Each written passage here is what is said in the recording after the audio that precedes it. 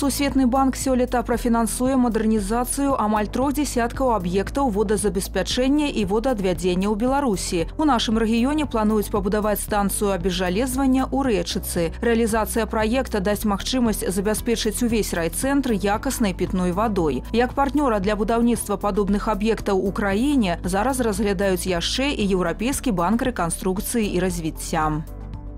Усе майстры ў адным мабільным дадатку. Стартап прэзідэнта гомельскага тэхнапарка выйшаў у фінал рэспубліканскага конкурсу інавацыйных праектаў. Яго правёў дзяржаўны камітэт па навуцы і тэхналогіях. Прадпрымальнік Юрый Ташкінаў прыдумаў мабільны дадатак рапус. Ён будзе эканоміць час і грошы. Мэта сабраць максімальную колькасць юрыдычных фізічных асоб і індывідуальных прадпрымальнікаў, якія аказваюць паслугі. Карыстальнік устанаўлівае праграму і пры неабходнасці атрымаць пэўную пэўную паслугу робіць электронны запыт. Ён адпраўляецца да выканаўцаў і тыя ў сваю чаргу звязваюцца з заказчыкам. Зараз у базе каля 200 майстроў. У планах на бліжэйшы год аб'яднаць у рабусе каля 5 тысяч майстроў.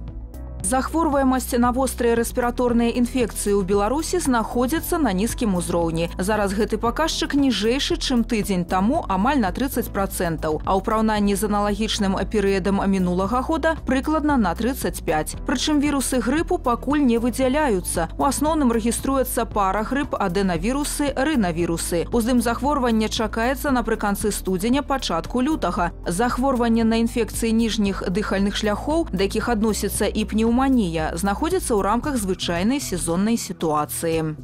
Маці, якія нарадзілі дзяцей першага студзеня сёння атрымалі падарункі. Сюрпрызы падрыхтавалі прадстаўнікі белай русі, гарадскога ўправлення па працы занятасці і сацыяльнай абароне, арганізацыі і прадпрыемстваў горада. Актывісты пабывалі ў трэцяй гарадской бальніцы і абласным радзільным доме. У першы дзень новага года у абласным цэнтры на свет з'явілася 12 немаўлят.